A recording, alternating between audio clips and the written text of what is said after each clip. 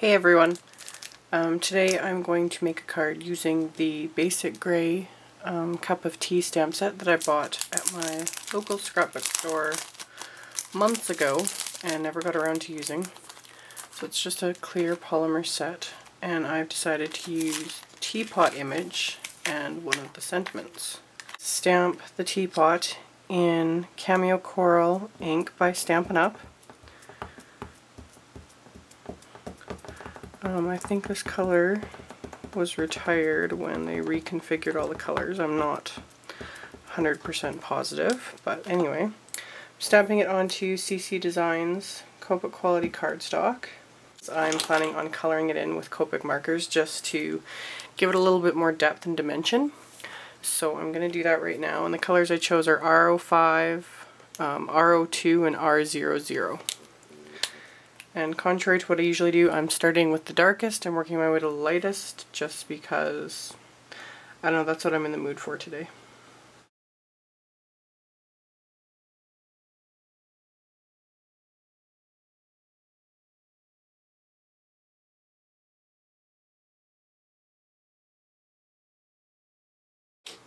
Okay, so you can see that gave it a fair bit more depth and dimension than just a plain stamped image.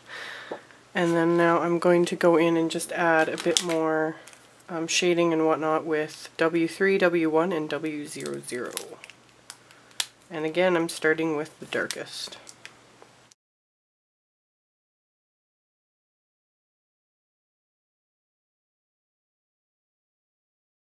I'm going to use one of my Nestabilities dies and I'm going to cut this out, so I will be right back.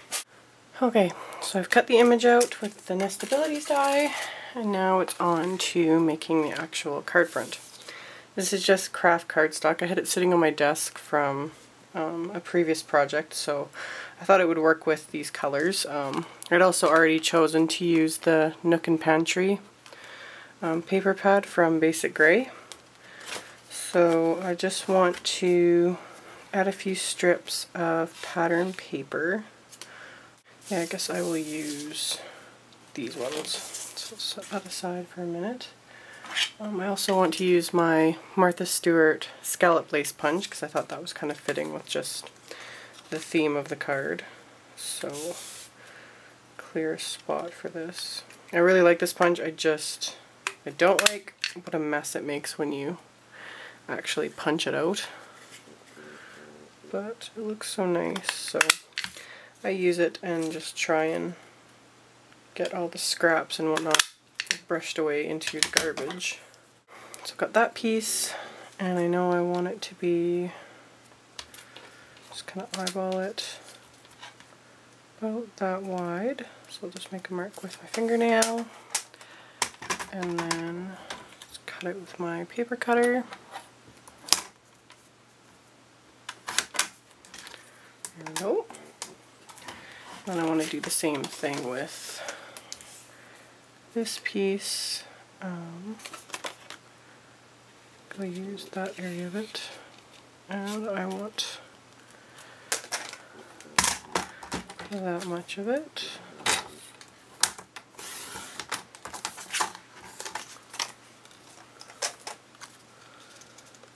I want this piece to kind of overlap so it's not all strictly uniform.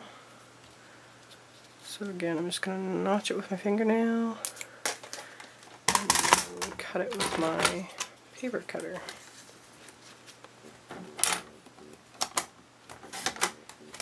And then last but not least, I'm going to do the same thing with the last piece. And this one I already kind of know how wide I want it, so I'll just slice off a piece and then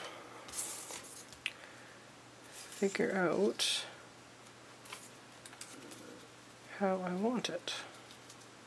And like that.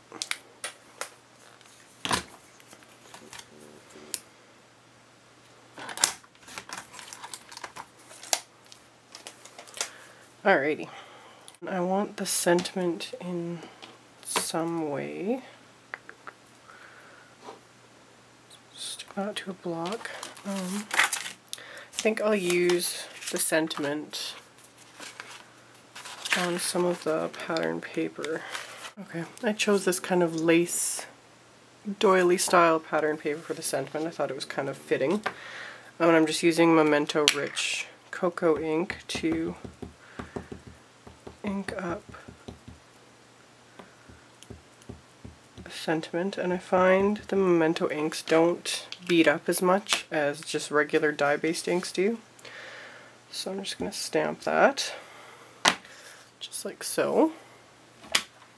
And then rather than cutting it out as a square or a circle, I think I want to make it a little more, give it a little more definition. So I'm going to use one of my Labels Four dies. Yeah, To use one of those. And I'm also going to gently tape it into place so that it doesn't shift when I run this through the Cuttlebug. So again, I'll be right back. Okay, so I've cut this piece out, and I don't care that I've taped it on here because I'm going to be cutting off, yeah, I'm going to cut off a good chunk of it anyway. There we go. So, something like that and something like that. So the easiest way to do this would be using my ATG gun, I'm going to adhere all the strips of pattern paper together. And then last but not least, I will add the sentiment. To make sure I get it where I want it, I need to line up pattern paper and the main image and then slide the sentiment under. Make sure I've got it just like that. And then now I can adhere this whole panel.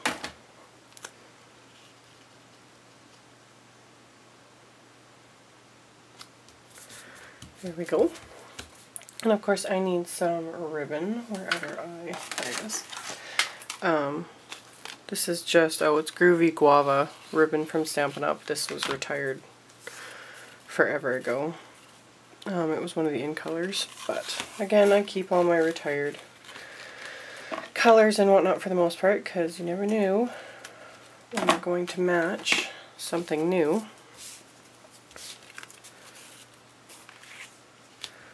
And again, I'm going to speed up this part. Um, I'll post a link right here with um, a link to my video showing how I tie knots and bows and whatnot.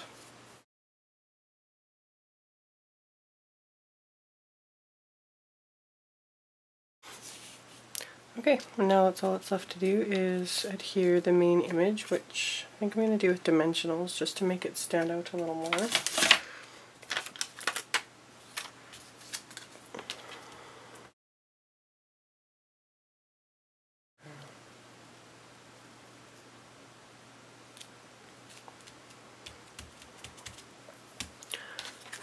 There we go.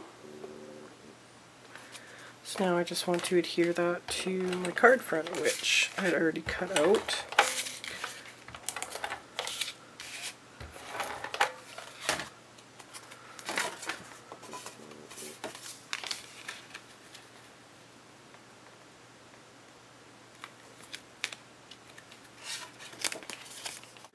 there you have it. Just a quick and simple card using the Basic Grey Cup of Tea set. Thanks so much for watching guys and I will talk to y'all next time. Bye!